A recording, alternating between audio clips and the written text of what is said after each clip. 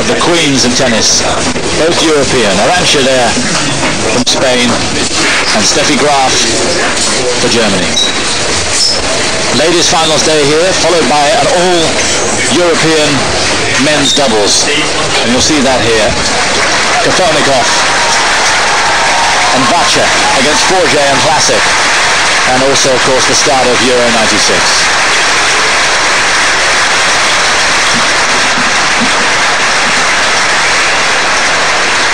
Fantastic European day here on Eurosport, and I hope you'll enjoy it with us. What a saga these two have had. This is their 35th meeting. Steffi leading 26-8.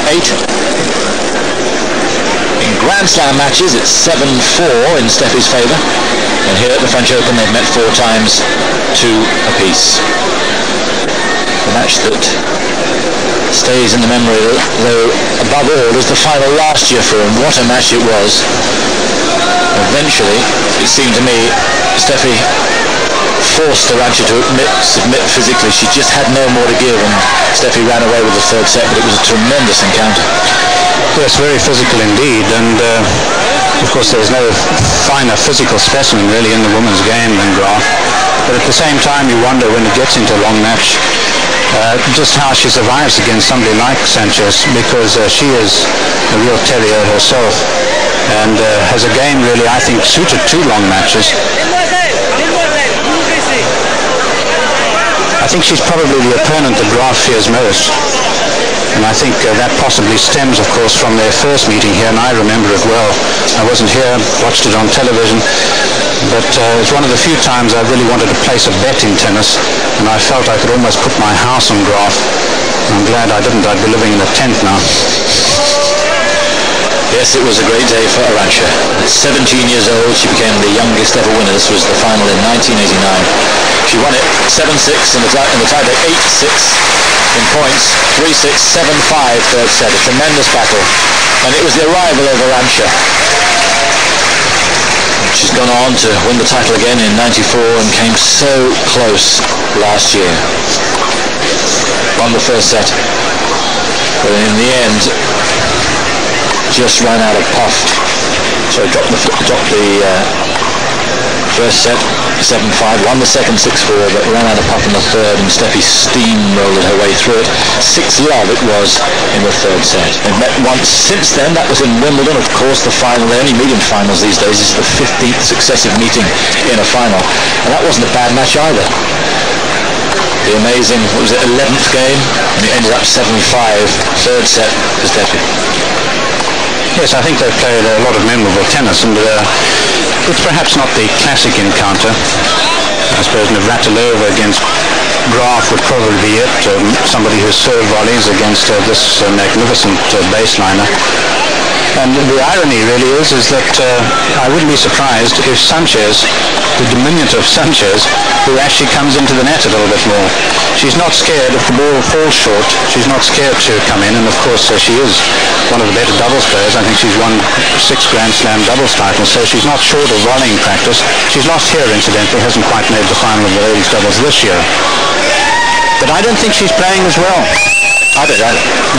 I think she's uh, a little more timid. I don't think she's had the year, and it seems to me she's not going for the lines.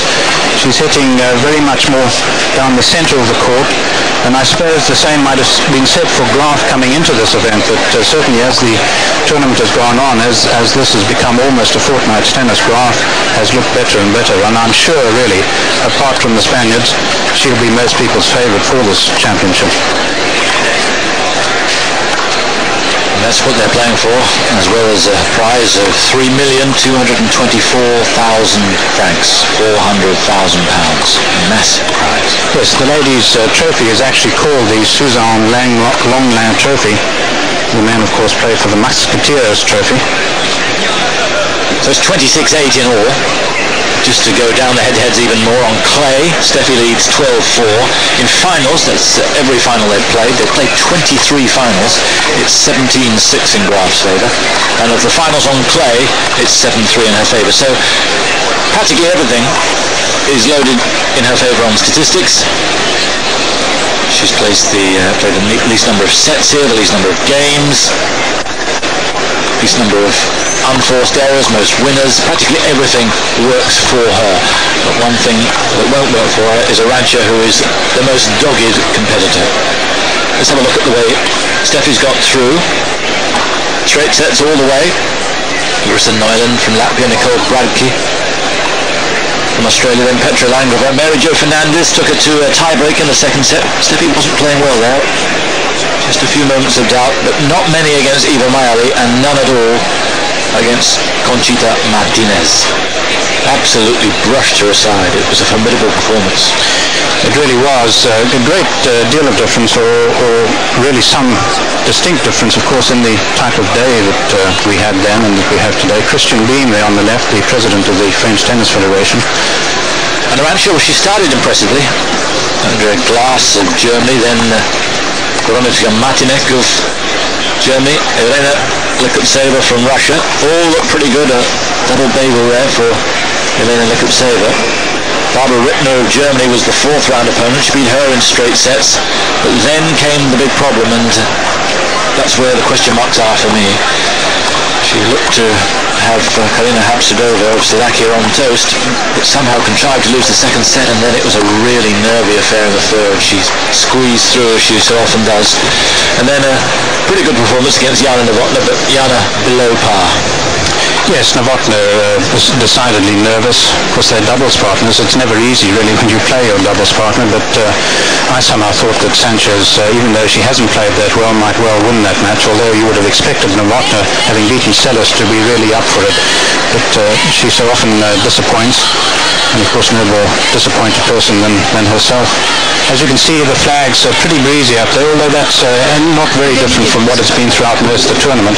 But it is uh, somewhat cooler down there. And I think the hotter the day, the more I would tend to favour Graf because, uh, of course, she has even greater power on her serve, greater power on her uh, ground strokes, hits the ball that much flatter than Sanchez. Steffi in her eighth final here. A winner, as you see, in 87, 88, 93 and 95. Yes, it's interesting that she says this is her least favourite surface, because she has a wonderful memory of Roland Garros. She has wonderful memories of all the Grand Slams. Who wouldn't have won each of them four times? But uh, her worst memory is losing that final to Sanchez Vicario. Her best memory of Roland Garros, of course, is the fact that it was her first Grand Slam title. Arantxa's won two of her three Grand Slams. Steffi's won 18 Grand Slams. Arantxa three, two here, 89 and 94, and the US Open again in 94. At that stage, Arantxa had a real ambition to be the world number one. For a while it happened, but it's uh, slipped away since then. All the focus has been on Steffi and uh, Monica Seles, who now hold the joint number one ranking. Arantxa hasn't been playing at her best. Uh, admits that. Anne Lasser, the young lady in charge here, great moment for her. Arantxa hasn't been playing at her best, but here she is, not playing at her best in a Grand Slam final. Yes, and uh, obviously the inspiration of this might be just, uh, and I'm sure it is just what she needs, as you say, not at her best, and yet here she is. And I think that's a, a tribute really to her uh, doggedness, to her competitiveness. She's the one, of course, who has the Yorkshire Terrier called Roland, which she carries uh, and carts around with her. Roland, of course, Roland Garros, that's why she's named it so. I'm told she even has a second one at home, which of course is called Garros. She's a lady of German Shepherds and Boxers something a little bit more fitting there. A shepherd for Graf and a Yorkshire Terrier. A terrier of some sorts for Sanchez. Well, the way her life's been going off court, Steffi, she needs a shepherd right now. On court though, whatever has been happening away from it, she's been pretty consistent. Winner in Indian Wells, and the way they've gone through.